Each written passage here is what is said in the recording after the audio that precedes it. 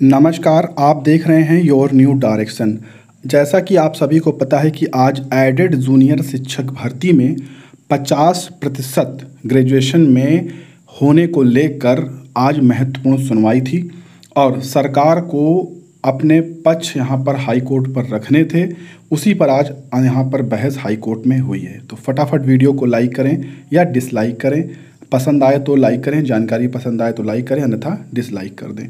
हम आपको बता दें कि आज सुनवाई पर नंबर आया और नंबर आने पर जो सरकारी अधिवक्ता मौजूद हुए, उन्होंने स्पष्ट तौर पर कहा कि कोर्ट ने जो भी सवाल पूछे हैं कि सुप्रीम कोर्ट की अवहेलना हो रही है, सुप्रीम कोर्ट ने 50 प्रतिशत से कम अंक वाले ग्रेजुएशन अभ्यर्थियों को आवेदन करने का मौका भी दिया है, आदेश भी दिया है। ये सब जानकारी उनको न होने का हवाला उन्होंने दिया। और उन्होंने कहा कि सरकार की तरफ़ से एजी सर इस मुद्दे पर बहस करेंगे।